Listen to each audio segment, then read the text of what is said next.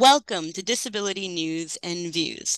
This month, we're going to be talking about an important topic in the disability community pedestrian safety.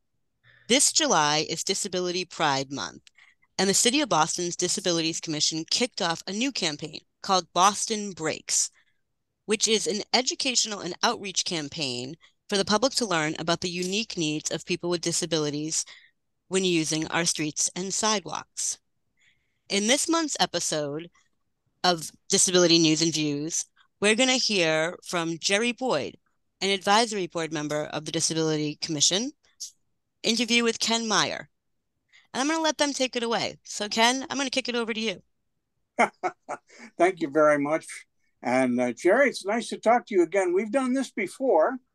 Uh, um, but but tell me very quickly, you are in the Boston Advisory Board. How long have you been there? Sure. Um, I've been an advisory board member for uh, about, I believe, about seven years now. So. Ah, okay. Well, we'll see if we can get to that if we have time. But July is a Disability Pride Month. Tell me why the emphasis now on uh, Boston safety? Did something happen, or or why the sudden interest? Well, I, I think because the city is putting a, great deal of emphasis, as as we should, on learning new and different ways to from to get from point A to point B. It's getting ex- increasingly difficult, especially in, in urban settings, greater Boston, so forth, to, for folks to get to commute from point A to point B. So the the city is always thinking of new and innovative ways to do that. And one area of emphasis that they're pu- putting on is through uh, the use. They're trying to get get more and more people to not use their cars to commute, but use use bicycles, and that can, can that can uh, pose unique challenges for uh, folks with disabilities, as I'm sure you you're aware, uh, Ken. Yep, absolutely. Are people complying with that? Is that happening now? Um, well, that's one reason the Boston Brakes campaign exists. We're hoping to educate both the cycling community as well as uh, the disability community on ways in which we can share the space. We can keep each other uh, keep, keep each other safe and make sure that that our sidewalks, streets, and roads are, are safe for everyone. Well, I know we're doing this uh, program to promote it is there anything else as far as outreach that's being done besides that? Well, uh, you know, I think the Disability uh, um, Commission Advisory Board, my fellow board members, we're always uh, hearing from our uh, our constituents on you know ways in which which we can help educate the public and and and you know increase safety for on our streets and sidewalks and and we're really hoping this uh, campaign, Boston Brakes, will start a good conversation between the cycling community and the disability community so that again we can we can learn from each other uh, how to keep each other safe so. All right. This is disability pride month. Tell me about disability pride month and what else if anything has been going on. Oh disability happy disability pride month to you as well ken uh, yesterday was actually the 33rd uh, anniversary of the signing of Disability Pride. And earlier, uh, just a week earlier than that, we had uh, our Disability Pride uh, uh, event on City Hall Plaza, something that the city is very, very, very proud to, to hold every year. And this year was particularly special because because we held it on the newly renovated City Hall Plaza, which is which is now fully accessible uh, f- for folks with all types of disabilities to, to be able to enjoy. So that was really, really exciting. The, the mayor spoke, uh, different members of her cabinet, the, the city streets cabinet head, uh, head who also was talking about the safety for all all residents and all visitors to the city. And there were about 300 uh, folks attended, more than we thought would attend would be able to attend the event, and it was just a really, really great illustration, uh, you know, of how far we've come in the city in terms of uh, since the original passing of ADA. But we also have so much more to do. So. all right, Uh, talk, if you can, about other challenges for people with disabilities that the city is and has been working on and trying to improve. Well, the city's always trying to trying to uh, fix its road infrastructure, potholes, uh, potholes, things like that. It's uh, you know, working on uh, you know different bike lanes and and you know curb cuts and things like that uh, um, to to help keep uh, keep all the residents safe. Uh, and that's why I think it's a perfect time, you know, for an educational campaign uh, like Boston Brakes to to really emphasize the uh, unique challenges that that face the disability community when we're, when we're out and about on the streets. We want to make sure that that we're you know folks with disabilities uh, you know are, are as aware of their surroundings as possible uh, and also that that cyclers and and folks using uh, motorized scooters or, or, whatever are also uh, aware of us and so that, that we keep everybody safe now i know when i was traveling downtown and still run into it one of the problems at least for people that were totally blind were audio signals. I tried to get uh, audio signals installed on the property where I was living for a long time. And the argument was, well, we can't do it because it's owned by the state. And when you talk to the state, they would say, well, we can't do it. It's the city's responsibility. How has that been been rectified, if any? Well, that's a unique challenge. Um, uh, that's because a lot of the street signs and and and and curb signs and and and whatnot are like, as you said, uh, aren't owned by the city. But I do know that the city, you know, is is is continually working towards um, upgrading all their uh, pedestrian signs and and, and curb signs uh, to to audio whenever possible. And, and uh, again, I think they're they're willing to try to work with the state, uh, you know, on the ones that they do not own in order to to improve them as well. But I think that's that's a unique challenge in, in a city, uh, you know, such as Boston, is that you know you can go down different streets and and there's different ownership responsibilities, uh, you know, sometimes of, of the very next street that you're on. So it is a unique challenge. Could this be by chance one of the issues that the Boston Advisory Board may be involved in? I, I definitely, definitely. Um, you know, it hasn't come up recently, but uh, but uh, but yeah, it might be part of an offshoot of of the uh, of the Boston Brakes campaign, certainly. All right. Uh, in the remaining time that we have left, why don't you, if you can, plug the website for Boston Brakes? Sure. Um, let me get it here for you. it, it is boston.gov slash boston dash brakes, or you can email uh, uh, disability at boston.gov uh, to learn more. And you can also call the Disability Commission directly at 617 635 3682 or text 617 251 2718. Very good. I ought to get Kristen to hire you as an extra agent.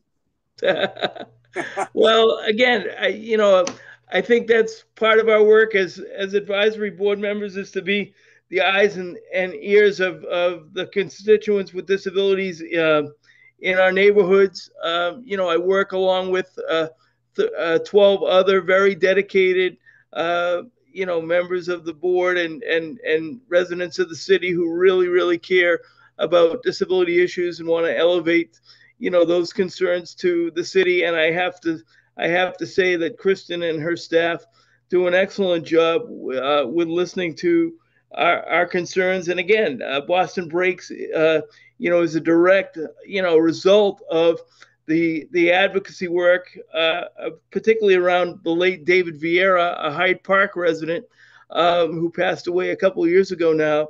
Uh, he really, really uh, brought up to every disability uh, advisory board meeting every month. He, he brought up, up the importance of of pedestrian safety and, and the need to enforce the existing uh, municipal laws and and and Boston Brakes was really uh, an outgrowth and a tribute to him. So that's just one example of an issue that the city really listened to us uh, about the need for uh, uh about the need for uh, public awareness.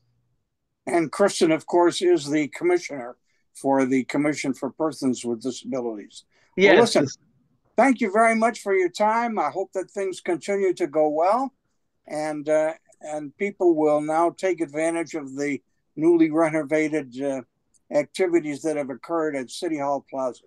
Yeah, and just yesterday, Ken, uh, there uh, or two days ago, there was a, uh, dedicated um, um, elevator uh, to a part of the part of the city hall that was was not accessible. So so that was a, another uh, triumph that we celebrated uh, on ADA Day as well. So I'm I'm glad to hear it, Jerry. Listen, you take care of yourself, and uh, we'll now kick it back over to Colleen and see what other ticket uh, tidbit tidbits she has in store for us.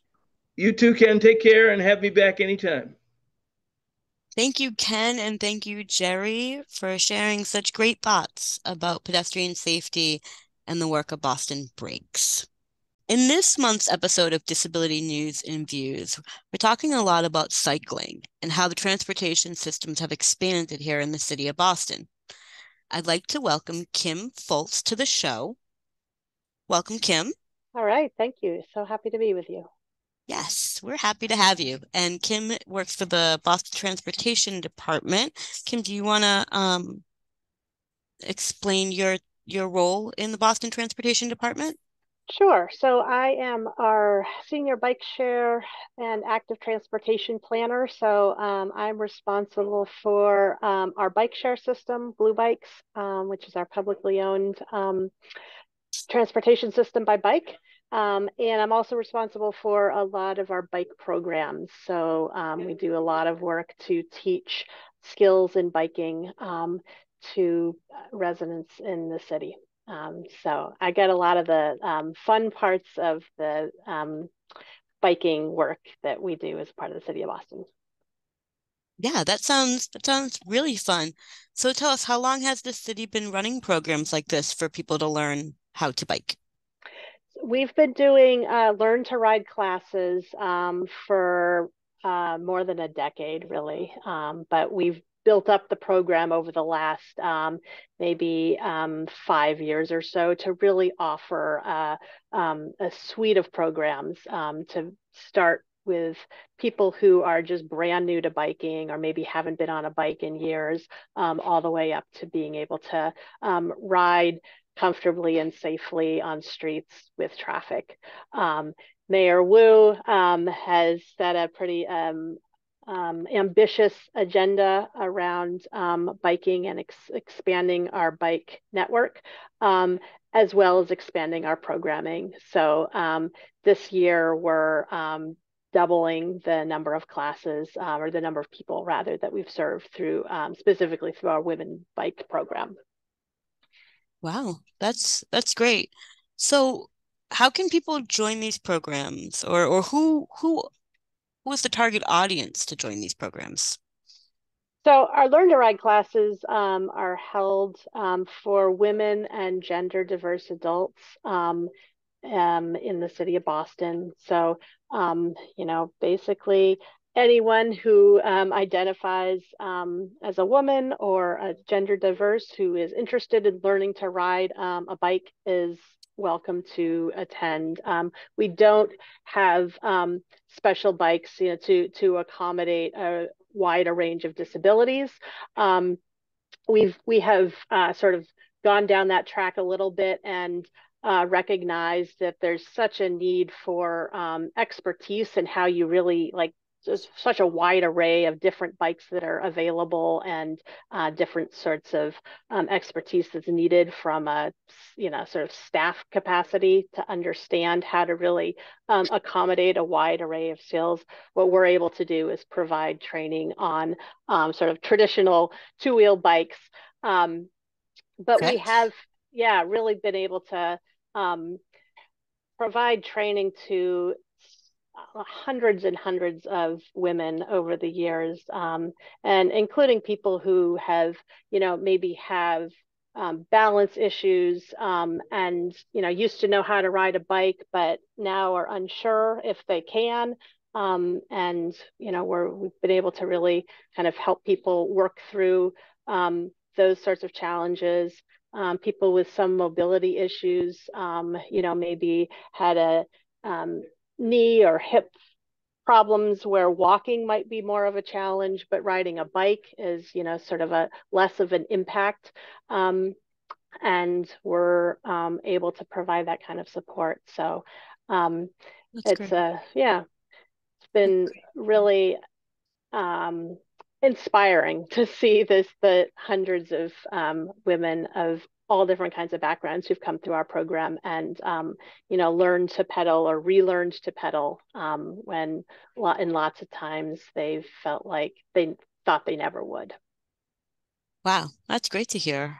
Um, you kind of mentioned it a little bit like what are some of the main takeaways you want new riders or um, learn again riders to take away from the program?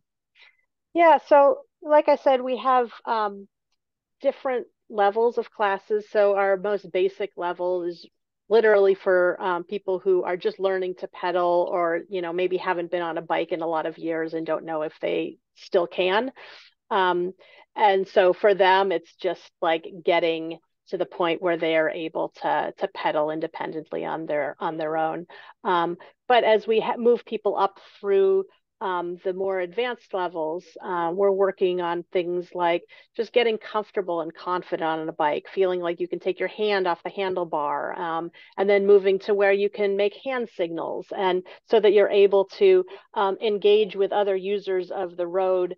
Um, whether it's drivers in cars or whether it's people um, walking on the streets or the sidewalks, um, being able to indicate you know what you're going to do before you're um, you know making a turn or um, you know navigating through an intersection um, so that riders are really able to be sharing space responsibly with other people and keep themselves and other users of the road safe.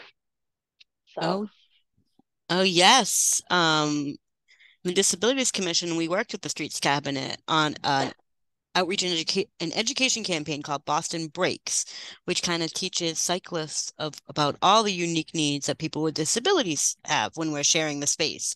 And we've heard nothing but positive feedback about how people want to learn how to best share the space, how they want to make Boston as collaborative and easy to navigate as possible. Have you kind of experienced the same? Yeah, absolutely. You know, people want people are excited about learning to ride a bike. We hear so um, so often from women like i just i want to be able to use a bike to to get around or i want to be able to ride with my child or you know lots of different reasons that people want to want to ride a bike but you know ultimately people want to be able to do that safely and keep themselves safe and keep others safe and really you know share the space um, responsibly. And so um, it's been great to have the Boston Brakes uh, campaign to be able to share some resources and just help people, you know, think about like what are, um, how do we share this space effectively together and what are my responsibilities and what are the other people's responsibilities? I think it it really you know helps when you sort of take a step back and think about you know sort of putting yourself in somebody else's um, position and think about you know how is it for um, someone who's got mobility challenges, you know, navigating the streets and sidewalks here, and um, you know, just having resources to be able to um, share with people. Um, really has helped us um, communicate those kinds of things effectively with with our learners in our Learn to Ride program. Well, that's that's great. Knowledge is power, and that's good to hear. Thank you for talking with us, Kim, and, and sharing a little bit about the Women Bike Program. Before we go, can you just remind viewers again how they can join the Women Bike program or where they can just learn more about best practices for cycling around the city? Absolutely. So um, our uh, women's bike program is at boston.gov slash women dash bike, um, or if you just Googled um, Boston Women Bike, um, you'd probably find it. Um, so that has the complete schedule of uh, our Learn to Ride classes. and people can register there uh, from that, or there's links to the registration site there. Um, and um, there's also links there um, to a lot of different resources about um, biking in the city. So um, it's a good good place to start to learn more. Well, thank you, Kim, and I hope the viewers can check out those links. And thank you again for your time. And um, we hope that some of our viewers uh, join you to learn how to bike. All right, fantastic. Thanks for having me. Of course.